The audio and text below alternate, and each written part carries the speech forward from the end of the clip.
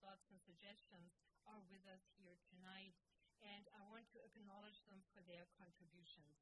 So now we can turn up the light, and may I please ask all of our advisors to please stand so we can acknowledge you.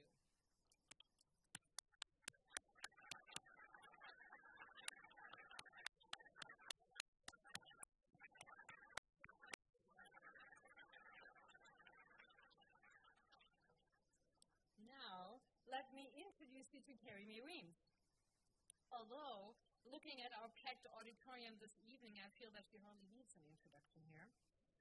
As many of you know, Carrie was born in Portland, Oregon. She received her MFA in photography in 1984 from the University of California in San Diego. And she attended the graduate program in folklore at the University of California at Berkeley from 84 to 87.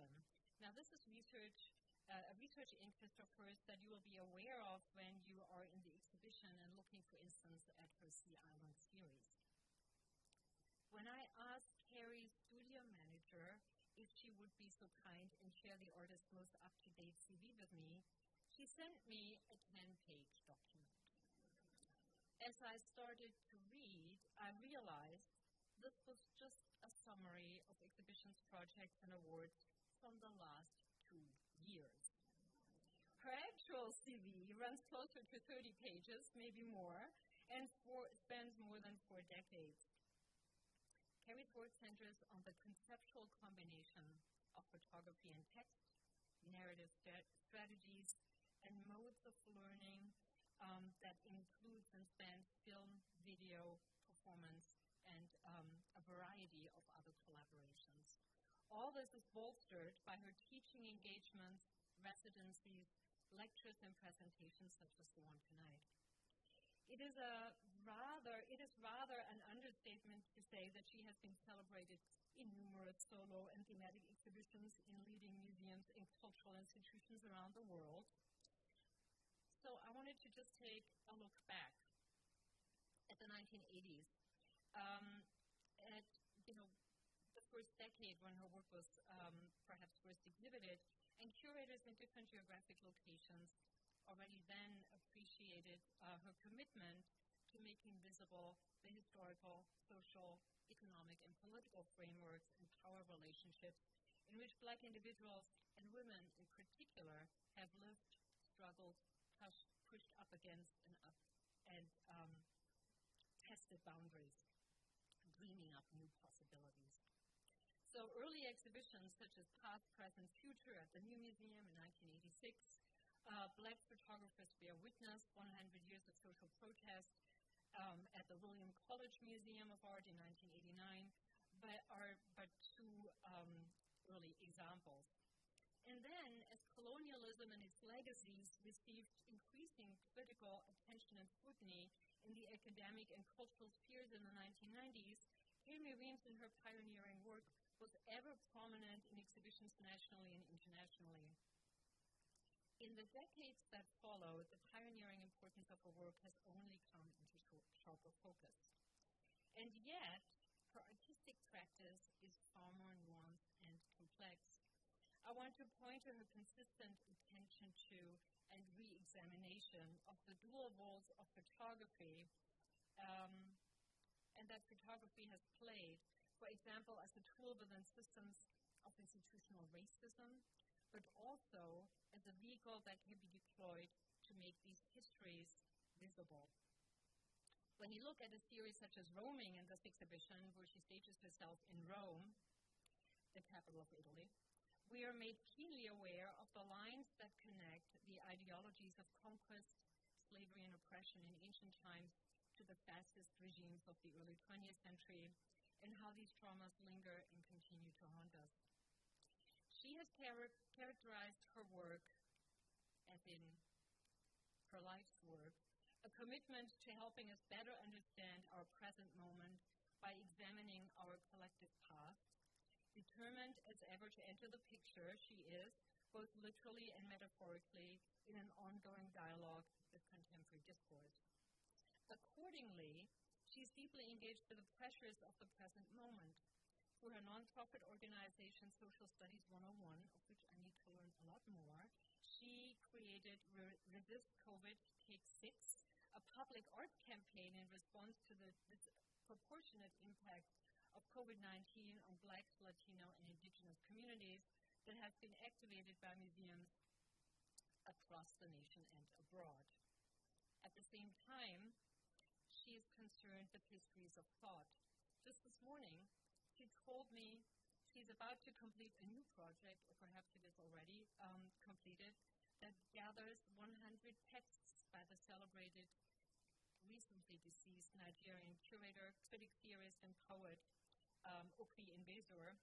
Um, through his work, um, he facilitated a tidal shift away from Western-centric modes of thinking, of, course has informed museum practices and curatorial work um, for the longest time, to an inclusive, socially and politically committed global vantage point. As you would expect, Carrie Weems has been honored with a multitude of distinguished awards, among them the MacArthur Award, colloquially known as the MacArthur Genius Award, the US, US Department of State Medals of Art, the Joseph H. Hazen Rome Prize Fellowship from the American Academy in Rome, where she's also now a board member, the National Endowment of the Arts, and this is really just scratching the surface. But before I hand it over to Carrie, let me end with this appreciation by Dawoud Bey um, that you can also find in the exhibition catalog.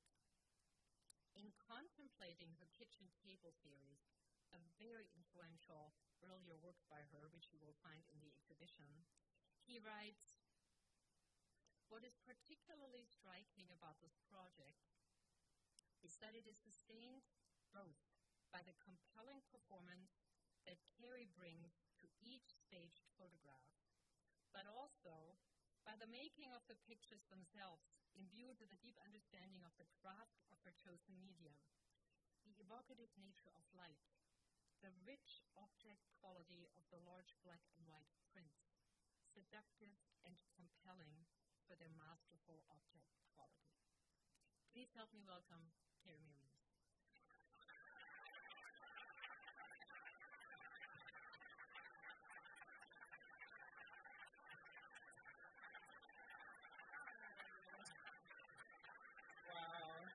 introduction.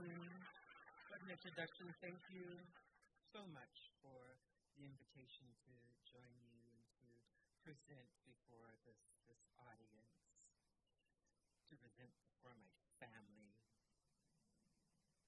Joseph, Fan, Tosh, Sarah. Could you just stand for just a moment?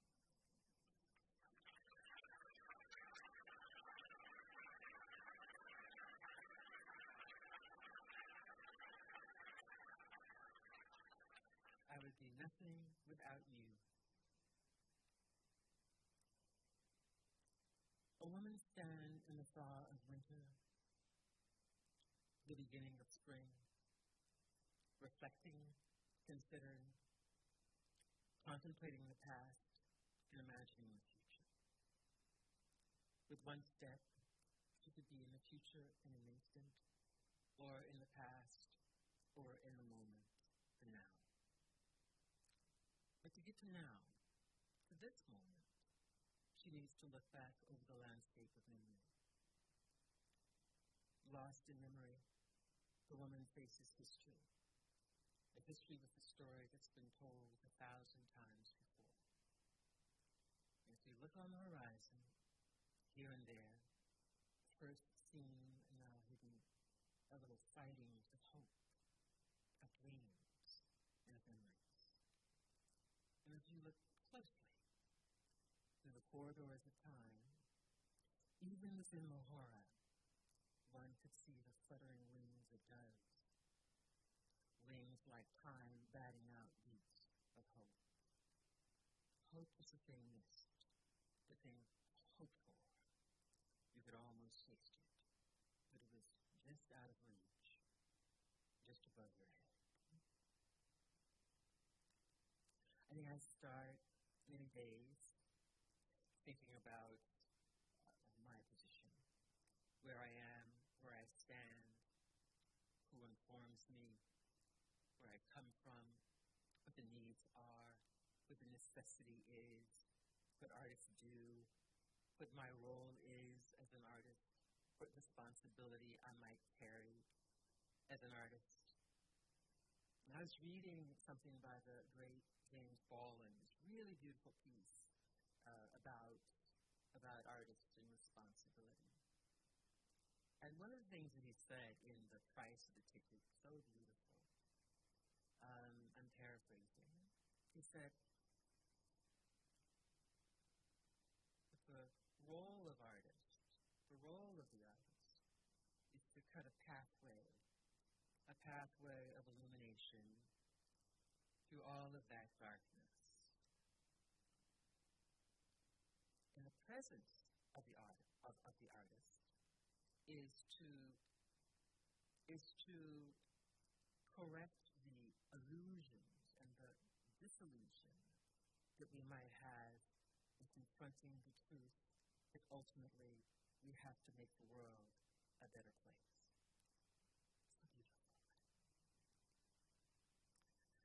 Think about these doors and the doors we passed through, and I was aware, of course, of this incredible pandemic, as we all were, that locked us down. And um, talking on the phone with my best friend one afternoon, just as the lockdown was beginning. And I knew that it was going to have sort of extraordinary and extraordinary impact on people of color, for sure. And that it was going to have a deep impact on workers as well. And so um, at the moment of the lockdown, I sat down uh, and started crafting uh, a kind of mode of work that would somehow address what this pandemic was and called everybody that I knew, all of the museum people that I knew and more, trying to figure out how do we get this material out uh, and into the hands of the public. Right? Because there was so much that was going on, of course. You know, Trump was in uh, the White House. We were talking about uh, bleach and garlic and all kinds of things that one might use in order to protect themselves against this sort of deadly pandemic that was um, shaking us. And so we knew that we were kind of up against it, and so I just started working, pulling materials together, pulling ideas together, and thinking about how then we might inform the public about the criticality of the need and ways in which they might uh, protect themselves. And so I spent uh, the first year and a half of the pandemic simply working, working, working, working on uh, billboards, and lawn signs, and masks, and buttons, and hats, and shopping bags, bags that could be uh, given out at um, various um, food banks and so forth, so that you, one would carry the message home with them when they stop to pick up a bag of food at um, at a at a at a uh, at a at a, a food center. And then, of course, realizing that you know the uh, that there were ideas about how we might protect ourselves, how to address various communities, and working with a number of different kinds of communities, African American community, the Latinx community, the Native American community, just working, working, working in all of these wonderful ways, was the thing that sort of saved me, right? It kept me deeply engaged in uh, in the pandemic and in our time as I was working on this work. These were shopping bags, grocery bags that were given out, and we did them in a number of ways. We passed out thousands and thousands and thousands and thousands of these of these uh, uh, pieces uh, for free to anybody that was willing to, to take us on. That's my mother actually. Life is beautiful. Stay safe if possible. Stay home. Wash your hands. Cover your face. Right? Course, and then the vaccine comes along, uh, even though that was contested as well. And again, thinking about language and using language and using language in a certain kind of way in order to sort of inform.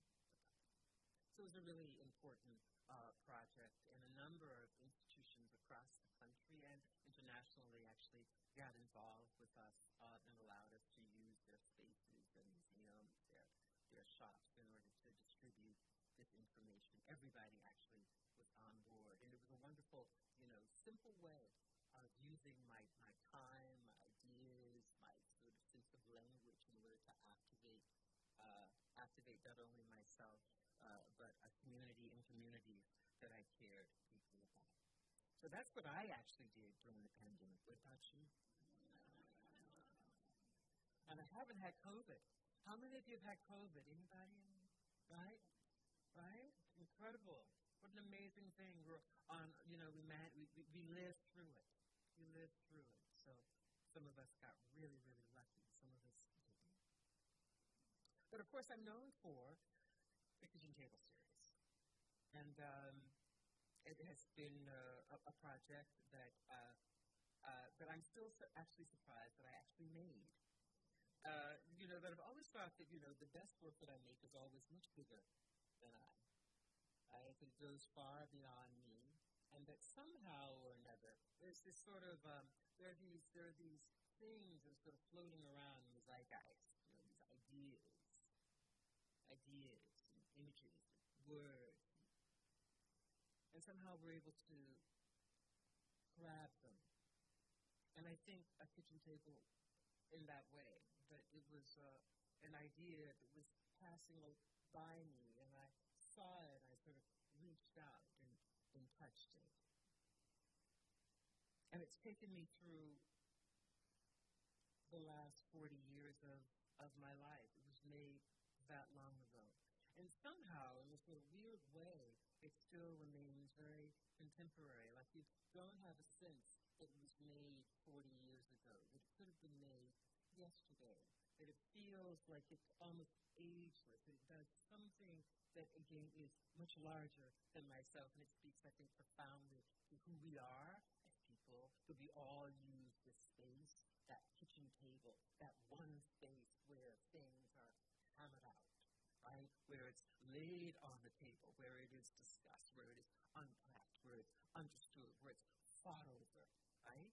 We do all these things at this space. And so I think it's one of the re- reasons that, you know, whether I'm in the United States or in Europe or in Africa or in Asia, uh, there's a way in which uh, people simply respond to the work, uh, that it speaks to people very deeply because it's part of their lives in a real, in a real, tangible, and unmitigated way. I do a lot of different kinds of things. I mean, I'm actually sort of like a workaholic, which is you know, sort of problematic. I mean, you know, my husband is sort of, you know, I get up in the morning, like, you know, I was thinking, you know, like he hasn't had coffee yet. I was thinking. The Africa series. I've spent a lot of time looking at architecture somehow, and, uh, you know, I wasn't not trained. I don't know anything about architecture. Sometime in, in you know around 1985 or so, I really started looking at buildings and how buildings function and how I was made to feel in relationship to that thing, to that space, to this artifice. Did it belong to me? Could I go inside? Right? I was aware of it also when I was younger. I came to New York for the first time. I was living very. I was living in Harlem, and uh, often I passed Columbia University, and I could not figure out how you got in. I couldn't figure out how you got into the building. Right? I would see people coming out, but I never saw people going in. Right? And so, you know, I would sort of, you know, and, and I would walk along Broadway, that huge stretch along Broadway between, you know, maybe 115th Street to 120th Street. It's like, how the fuck do you get in here? Architecture. The role of architecture has been really important to me, and I've looked at it again and again and again and again and again. And then when I was in Africa, in Ghana, going towards uh, Guinea, uh, to, going towards Timbuktu, um, I saw these buildings. Right? It was the first time I really understood how buildings really functioned in a real pragmatic way in relationship to the body, in relationship to subjectivity, and who belonged in a space and who didn't. Right? The sort of female form and this male form, this female form and this male form, and I thought, is this real? Right? Well, we do this, of course, in the West as well, but we do it differently, slightly differently, but it does exactly the same thing. It informs and it tells us who belongs and who doesn't belong in a space. And so I've been looking at architecture as a way of really sort of unpacking what a, uh, a society is, what it thinks of itself, what it thinks of its citizens, and how we are made to feel in relationship to it. And I could go on and on and on about this because I really love this idea. So these are from Rome. And just as I was, you know, I was, I was doing a, a, a residency at the American Academy in Rome. And uh, just on the last day, I mean, I worked like every day. I worked every day. And, um, you know, I get up very, very, very early in the morning. My whole family has always gotten up very early in the morning. And I would go out photographing so nobody was ever on the street and I could sort of control things and be there in a way that I really wanted to there. And I'd always, of course, wanted to be in Rome because I saw Gidget goes to Rome. Right? And I thought, surely I'm going to meet a very, very handsome young Italian boy, and he's going to put me on the back of his Vespa, and we're going to have a fabulous time, right? Right, and so this was like my dream that I was going to go to Italy. And of course, I didn't go when I was 16. I didn't go until I was 60. 60, you know, by then it was all over. But just as I was finishing up this sort of last day, this last day, how many artists are here? How many artists are there? Artists in the, so quite a few artists in the room, right? Just as I was finishing um, up this sort of great uh, year in Rome, I been in Fellini's studio, I photographed and filmed at Cinecittà, my dream, you know, of working in this sort of space where some of the great filmmakers of the ages had worked you know, and to be in Fellini's studio was just so fabulous. I mean, it was just so great, right? So I was working my ass off, and uh, it was good, but I was still finishing up this, this, these, these still photographs in Rome. And on May Day of 2006, 2007, I made this photograph in front of the museum in Rome. And I thought, immediately, I understood that there was and that the work that I had just done had led me to something that was even deeper. And that was my sort of um, uh, uh, battle uh, and to understand the role of museums, what museums are, how museums function, uh, what their role uh, has been, how that role has to change, who belongs in, who has been historically left out, and raising all these questions. And so immediately I made this photograph. I understood exactly what I had done. I immediately went back to my apartment in Rome. I packed my cameras. I packed my toothbrush. I made a whole bunch of plane reservations, and I flew around the rest of Europe photographing, standing in front of museums.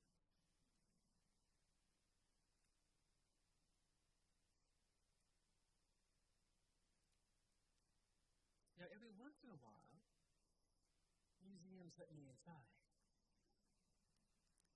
And a few years ago, the Guggenheim Museum, um, and I've had a, an interesting relationship with the Guggenheim for the last, since 2013, 2014, when they um, exhibited my um, traveling exhibition. And then several years ago, the curator there was producing a project called Artistic License, and invited me to participate in that exhibition. They had invited six artists actually to participate in curating, using anything we wanted from the museum's um, the museum's collection, which was fantastic, of course. To be able to go into the bowels of the museum, you pull out anything I wanted to look at. So it was just, just really, you know, amazing. And so, you know, I'm, you know, I'm like looking through the collection, looking at all the photographs, really thinking about the kind of exhibition I might want to put together, pull together. And so I made this comment uh, to, to, to, to the curator at that time that, well, you know, there are no, there are no, really, there are no women in the collection. This was like, you know, we were looking at the museum's collection up until about 1980. And so from the, in, in the inception of the museum to 1980. And all of the artists were basically doing the same thing. So disturbed by this question uh, or observation, Nancy said, well, we could give you until 1985.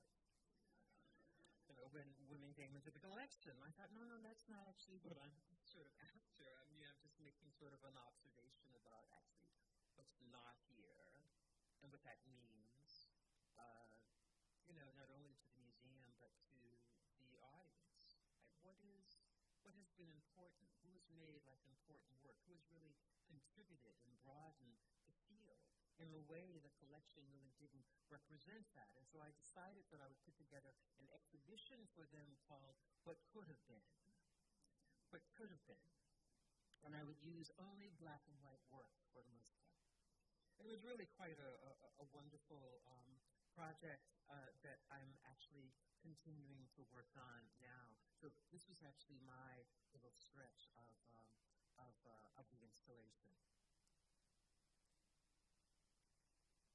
Again, in photographing myself also outside of this institution as well, and then doing uh, a major project there later on uh, called Past Tense, Future Perfect. Things like From Here I Saw What Happened and I Cried have also been important works. A way of not only thinking about um, Uh, uh, the image of blacks in photography, but also thinking about American photography, and the history of American photography, and the history of blacks in American photography, and the history of photography generally. It was just a way of really kind of unpacking a number of ideas through one body of work. It consists ultimately of about 30 pieces of work, I think. Besides sort of doing those kinds of things, of course, I work with kids in Social Studies 101. Sometimes I say I don't really like kids very much, but but each time I wind up working with them and I love it and it's important. And doing always, you know, working with billboards and working with signage and working with language and trying to understand how that works and introducing kids also to those ideas. I produced various parades. This was one for the Kennedy Center when the Kennedy Center opened the Reach. And so invited a number of different artists to participate along with me. And I often invite artists to participate in projects that I'm participating in. So I sort of assume that, you know, if the door kind of swings open, then we might as well sort of push it. And invite just a few more people into the space in order to consider uh, what might be done, what might be missing, what might need to be included. I work on performance.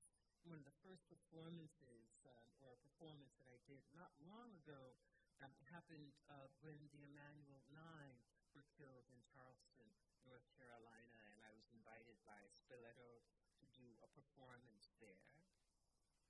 And so I decided that I would really focus on the moment, focus on what had happened, sort of this history of violence, and trying to unpack this history of violence. Trying to focus on what, uh, these young people, men for the most part, who had been killed. But not only the Emanuel Nine, but the incredible escalation of violence against men when Obama himself actually entered office and presidency of the United States. I initially thought that when Obama left office and the black men dying actually began to fall off, that actually I was just sort of imagining things. And then um, uh, someone at the Post, the Washington Post, noticed the same thing, that there was this precipitous rise in violence directed against black men when Obama entered office, and it began to decline the moment that he left office. And uh, fascinating report. The report is actually available online. So this was my performance of, of Grace Notes, working with uh, composers, James Newton, Craig Harris, singers, Alicia Moran, um, Eisa Davis, Carl Hancock Rux, etc. So I do all these kinds of interventions, working in a number of different ways uh, in order to push through on a number of ideas that I'm that I've been carrying for a long time. Often think that really you carry uh, with you the same ideas over the course of your life, and the only thing that really changes is how you engage and how you ask the question.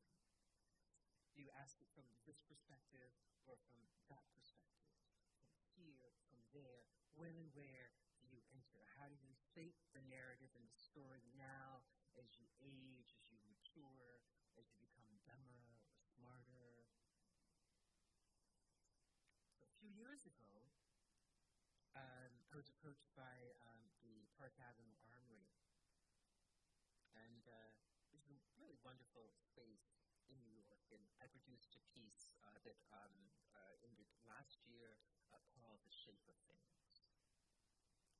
This piece is called "Sit, Stand, or Speak." This is one of the piece, pieces, all blue.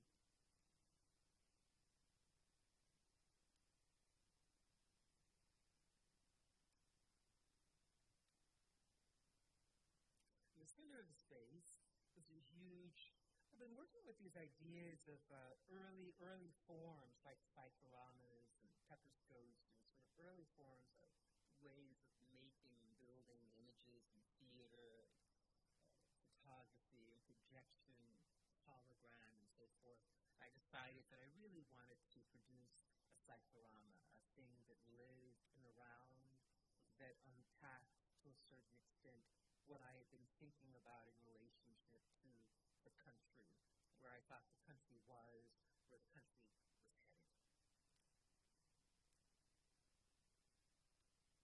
It's a piece, The Shape of Things. The video is in seven parts. We knew that there was a browning of the country. We know that there's this massive demographic shift that's taking place in the United States and how we respond to that shift, I think is very important. You know, I first heard about this massive demographic shift in about 1982, 83. I was at a lecture by the president of Bank of America, and he t- talked about this shift in demographics. 1983, right? Shift in demographics, right?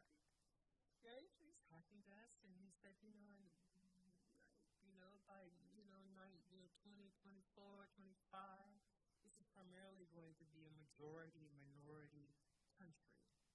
And you should be aware of that. How are you going to deal with that? How do you need to think about this massive change that is coming your way? And I heard this and I thought, this is fabulous. What? Right? I couldn't imagine it, right? You know, I go home, I dash to the library, I'm looking for everything I can find in relationship to this idea of demographic shifts. Right? I do my reading and I do my research. And of course, we know now in hindsight that the Tea Party, the rise of the Tea Party, the rise of Trumpism, all of that, of course, is deeply connected to this massive demographic shift that we are encountering now. January 6th, of course, was the ultimate what that might mean, right? And the sort of refusal to allow for a, a peaceful transition of power, right? That there are people that are deathly afraid of what this means to the country. And uh, I think all of us now are really aware of what this means. That there is something that is coming that is absolutely extraordinary, something that no one really anticipated, not the normal people, not the average, everyday. Right? It's coming, and it's coming in a big way. And how we respond to all of this, I think, is really a testament, and will be a testament to who we are and how we ultimately decide that we are going to live in this country. We'll be people standing in a series and a set of conditions. That we are indeed standing uh, in the winter, right? in the beginning of a thaw, in the beginning of a new spring. And what does that look like? I'm not exactly sure. What does all that mean? I don't really know, but I know that it's imperative that we have a sense of it. And institutions, universities, museums, all around the country are trying to figure out how they will deal with and now address this problem. George Floyd, of course, put us all on notice in a whole other way. So this was the shape of things, really sort of unpacking all of these ideas around around what it means to be brown what it means and what it means to be human, ultimately. In the middle of this, in the middle of this piece, uh, uh, I um, used this this uh, this audio um, from I can't remember her name at the moment. Maybe it was Amy uh, in Central Park, who um, decides that she's going to call the police on a black man, and she says, "I'm going to call the police, and I'm going to tell them that a black man is harassing me." It's just, it's just like an amazing. It's just like an maybe it was Amy Cooper, just like an amazing awareness of I'm going to with you. I can have you taken down any moment by simply dropping the dime on your ass. I mean, it was just like phenomenal. Her understanding, right, of who she was in relationship to this innocent man was really quite phenomenal. So this man on the treadmill is, is a theme that I've gone back to again and again.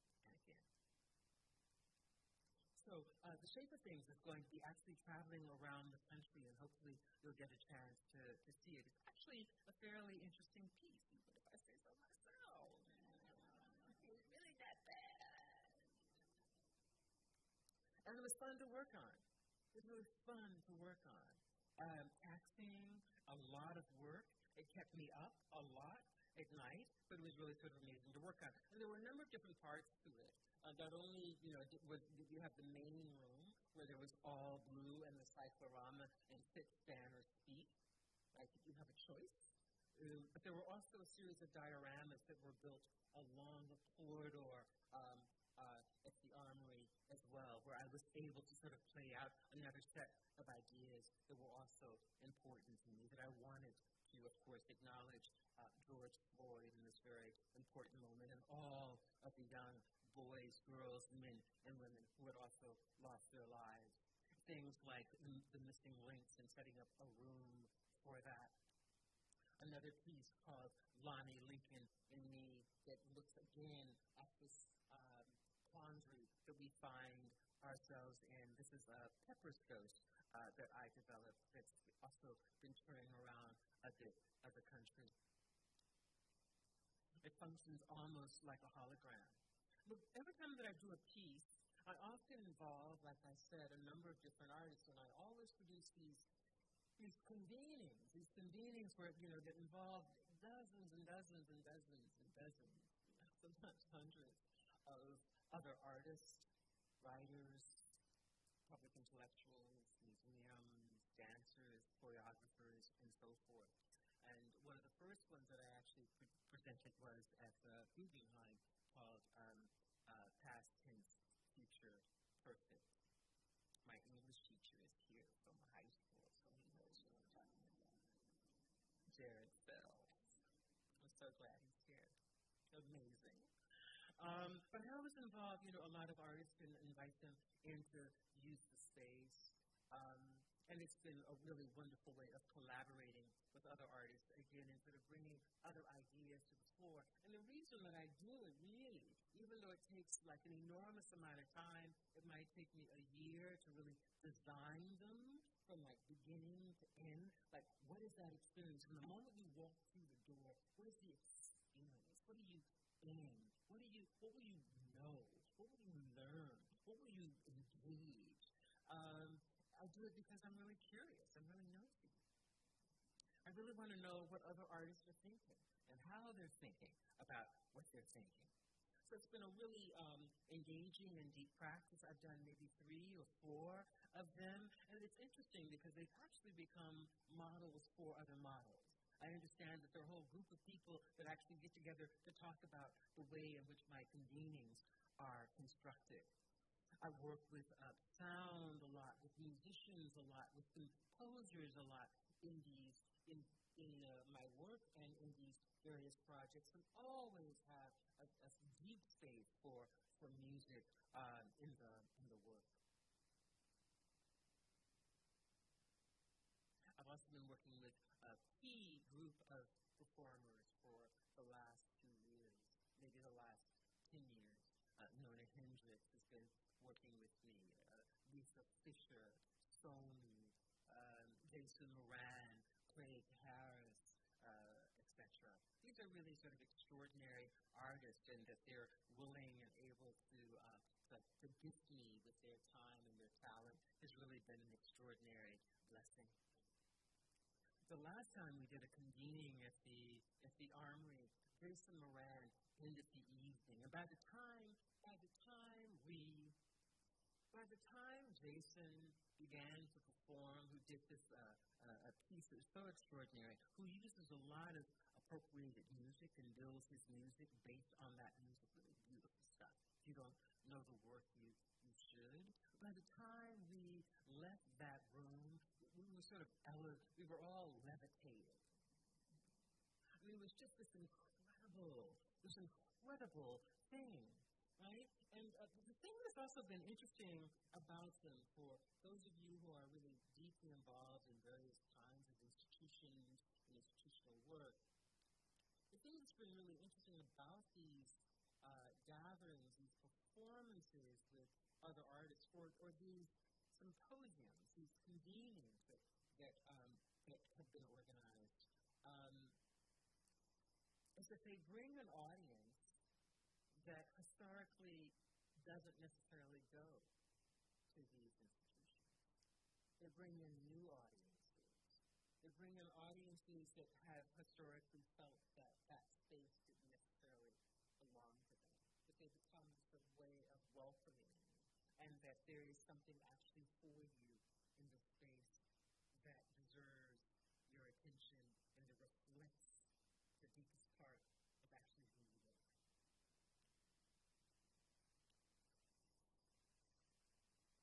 This is a piece by David Hammonds. I'm really jealous because I wish I had made it myself. And it's so smart. This idea about hoods and what happens when you are in the hood. There's a piece that I made 30 years ago, 40 years ago, commemorating every black man who lives to see age 21, and repeating the obvious based on the idea of profiles. And police reports. You know, of course, when George Floyd died, this sort of extraordinary thing, the straw that broke the camel's back, where millions of people around the world sort of saw this thing happening because we were all in a pandemic and we were all at home, right? We were all watching the same things. We were all watching the news. We were all trying to do something besides be bored. And we saw this thing. We saw this this this, this murder happen before our very eyes. In Portland, where protests, Seattle, where protests went on and on and on and on and on and on and on. It didn't necessarily make the nightly news anymore, but it went on and on and on and on and on. Portland, of course, became a completely boarded up city. And so this is painting the town. Right? The whole town. The whole town, the whole downtown looks like, you know, uh, you know, uh, a, a, a Jean Moreau painting. It's just unbelievable. I couldn't believe what I was seeing. Right? So I just made, you know, just dozens and dozens of photographs, just looking at what happened to the city and the way in which the city had been treated, the way in which the city had been boarded, the way in which the city had been painted. It was just sort of extraordinary, just extraordinary uh, to witness, right? It's just like, right, why? Right? And so this, of course, is based on these ideas about the history of violence. And I keep making all of these books about the history of violence. And I have dozens and dozens and dozens of them with all kinds of titles. And, you know, when I'm, you know, every once in a while, when somebody is not completely, you know, terrified that I'm just going to do something really critical and mess everything up, people invite me to do things like this with somebody like Mary J. Blige, which was really uh, just fabulous to work on. I mean, she's just so great. You know, or this, you know, young, wonderful young woman uh, who is on Euphoria, who uh, has decided to do become. Um, she's um, um, uh, transsexual, and uh, so for Prada, um, send this bag back. And I wrote them back. I made a flyer, uh, and it said, possession is, is nine tenths of the law.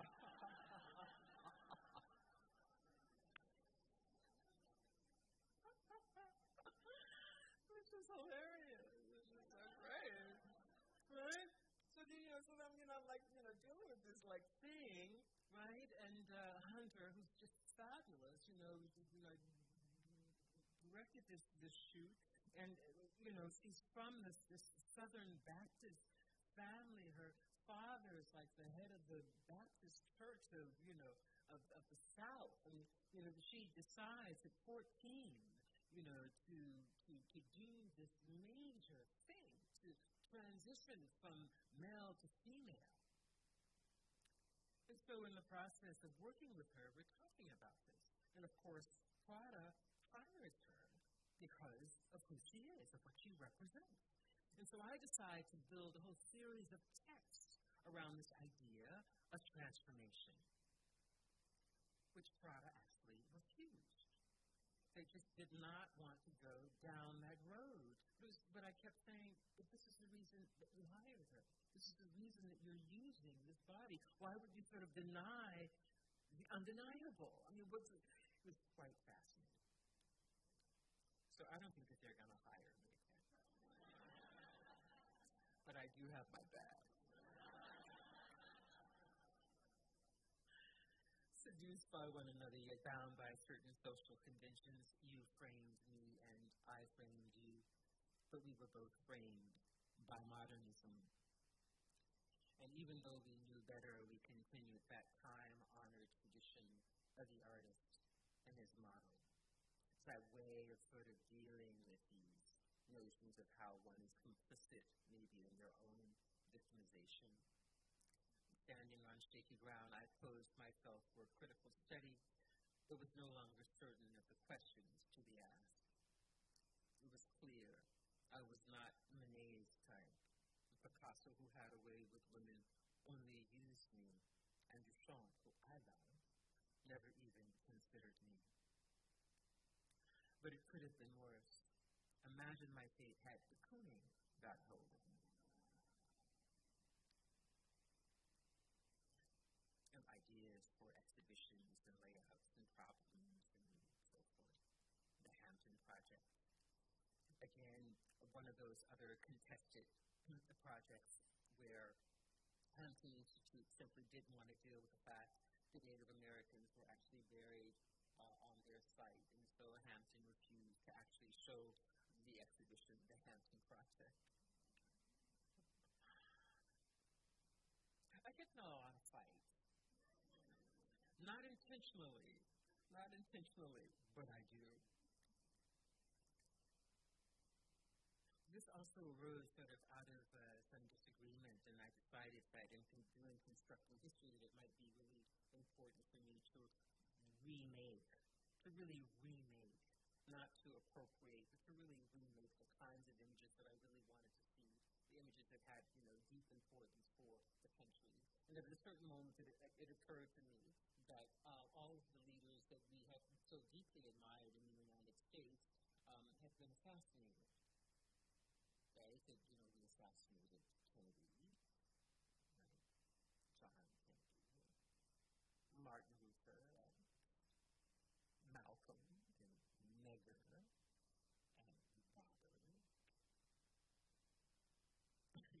right?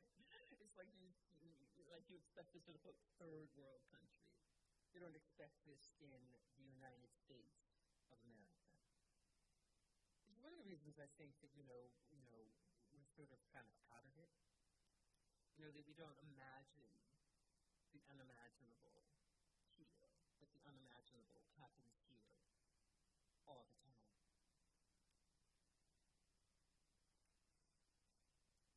So I'm going to just show you just a few more uh, images, and then I actually want to talk to you about um, something that um, that I'm working on uh, now. You know, of course, you know, marching through these ideas about assassinations, how those have happened, how to construct images around them, how to engage my students and my, my, my colleagues in building and helping to build and design this work, how to negotiate ideas around color, how, you know, using color as a metaphor for deeper meaning, of exploration. This child, she's so beautiful, right? You know, of living behind walls of color beginning to sort of abstract that idea, taking it out, stretching it out, right? You know, so that, you know, you know, black is never simply black. There are a thousand shades of black, right? You know, high yellow, golden yellow, bright yellow, high bone, and red bone, and all of these sort of beautiful ideas about color. Color as a real temperature, as a real thing.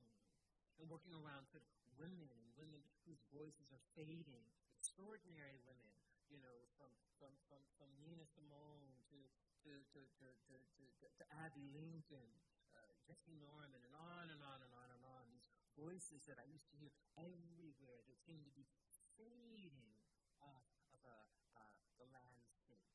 Thinking about the role of women in film, the arrival of, uh, of a new positioning around who can be in film, who's making film, who's making TV. There's a sort of very interesting shift that's going on in our cultural landscape that I'm trying to pay attention to.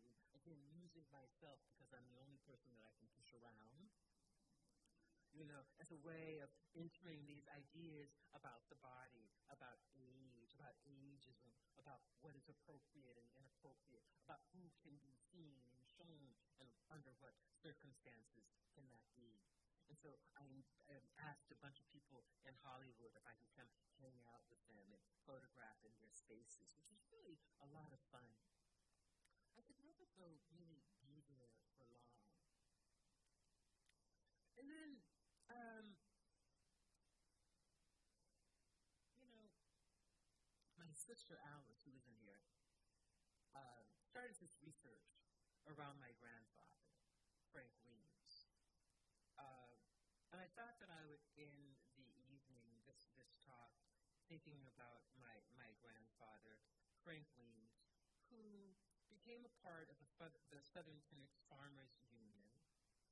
And um, when, when, we were kids, my, my father would often talk about his father. Would tell us stories about him. We never met him. Never met him. Never the opportunity to meet him. And um, as a union organizer, he um, worked very closely with uh, a man named Jim Reeves he and Jim were out um, organizing one afternoon, and um, they were uh, surrounded by a hostile group of, of, of planters. They were um, all beaten. And um, when Jim came to, Jim was white, when Jim came to, my grandfather, Frank Weems, was no place to be seen. They assumed that my grandfather had been killed, that he'd probably been uh, thrown into a ditch or into a river, but he was gone. And um, and so only a few years ago, my sister Alice, who had been digging and digging and digging for years, found this photograph in a newspaper of my grandfather. This is the first time I ever saw my grandfather. My grandfather in his lawyer's office attempting to sue the state of Arkansas for his mistreatment and his separation from his family. Extraordinary, right? He just wanted $25,000 for this. Now, in the meantime, grandfather is beaten. He becomes a cause célèbre. Everybody is talking about Frank Weems. President Roosevelt asked, Where is Frank Weems? The New York Times and Time Magazine write an article about Frank Weems. And the famous photographer, Dorothea Lange, photographs my uncle, Clarence Weems, saying that Clarence Weems remembers the night that his father disappeared.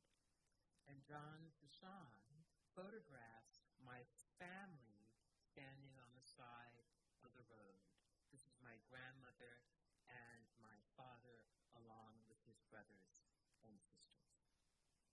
And so I'm going to play you just a little bit, um, a couple of clips, if you don't mind, of um, Leave, Leave Now. Um, uh, that is uh, a draft of a piece that I'm working on. It's also a Pepper's Ghost. Uh, I'm going to show you the draft, but the, the film is actually being shown right now in uh, Baltimore and going to the Brooklyn Museum very soon. So can we bring down the lights and we'll show the first clip. This is happening in Earle, Arkansas in about 1936. Near Earle, in the root hill of the South, in that rich black earth of single crops, A black and white sharecroppers, tired of being tired, Bring up the volume. of making 75 cents per day, form the Southern Farmers Dance Team. For their efforts, they were terrorized, beaten, jailed, some were murdered, and hundreds were forced to leave plantations and farms. They crawled home. My grandfather, Frank Weems, was one of those organizers, and his efforts were to have serious consequences for himself and for my family. Dozens of families are evicted from their homes and forced to live on the side of the road.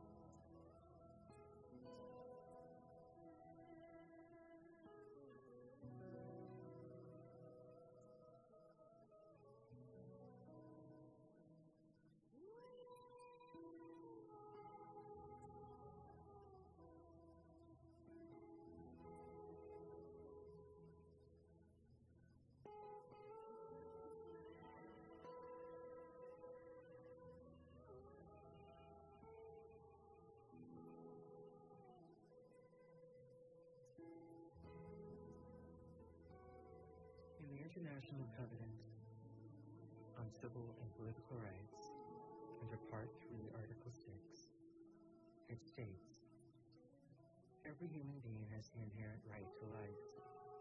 This right shall be protected by law, and no one should be arbitrarily deprived of his life.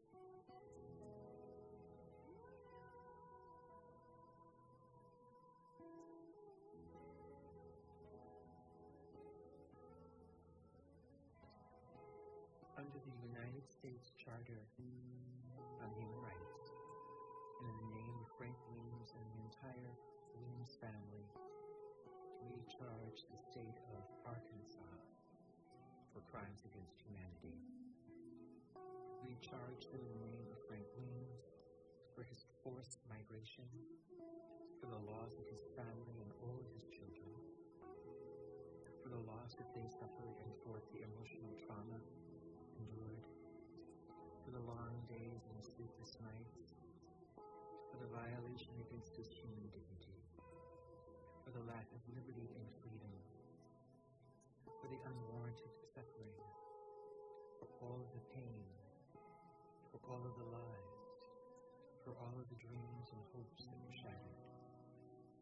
his enslavement, for the brutality directed against him, for the murder of his family and his friends, for the endless, endless search, for the disruption to his life, for all of the unanswered questions, for the worry, for the beating and the hunting and the dragging, for the time spent on the side of the road, for the walking and the running, for every moment spent in hiding, for the joy that was missed, for the family time, for the birthdays and the holidays and the family gatherings, for the dinners and the dancing and the births and the deaths, for the celebrations, graduations, for the days on the beach, for the sunset, for the laughter, the big whist, and the backslapping, for the sheer fun, for home, for the evening strolls, for sitting on the porch, for the joy of watching his children grow, for the cuddling and the hugs and the love, for the endless summer days, and the fussing and the fighting and everything that comes along with and the terror, the vicious acts of vengeance, the sheets and the torches, the night raids, the rapes and the pillage, the shit and the dirty hands and the mouths, and the constant terror, the malicious treatment of women and children. We charge this in the name of the Williams family. We charge the state of Arkansas for his forced migration,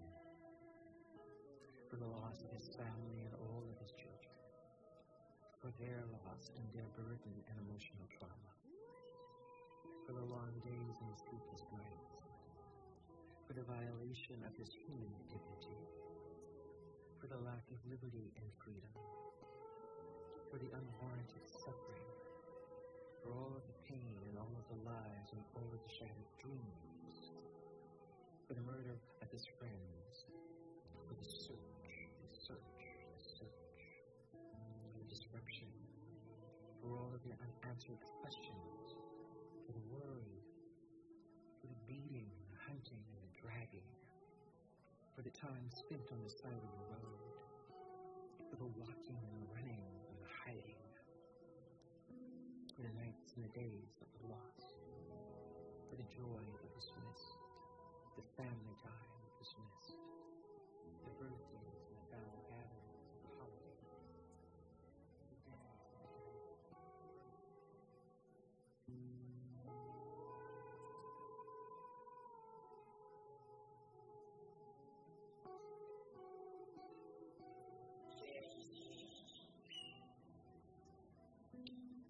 Daddy said that there is nobody better than you. And don't you ever believe that, that they are, uh, that there is somebody better than you. You can do anything that you want to do. And he instilled that in me, and I always believe that. I feel like I can walk in a room that felt like I could walk in a room amongst anybody and shine. Because that's what he gave me. The confidence, the love, and strength to do that. On an everyday basis. You know, because that's how he just made us feel. He made us feel so special. And so uh, love never felt unloved or unsafe. He was definitely our protector. You know, the first man I ever loved was Steve.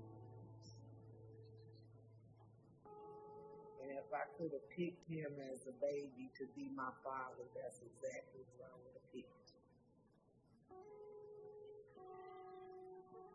And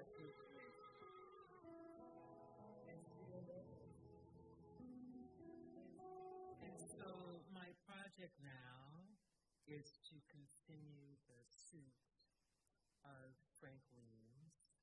We're pulling together a group of lawyers um, to sue the state of Arkansas in the name of my grandfather continue his campaign for justice.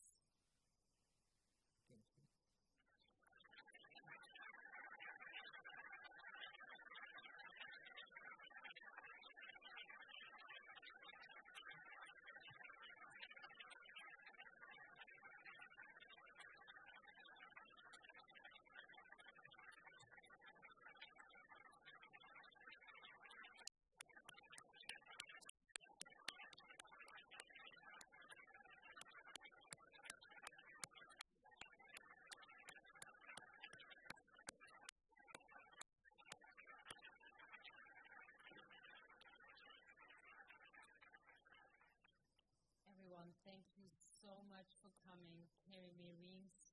This was extraordinary. And I'm going to leave all of you with all the unanswered questions.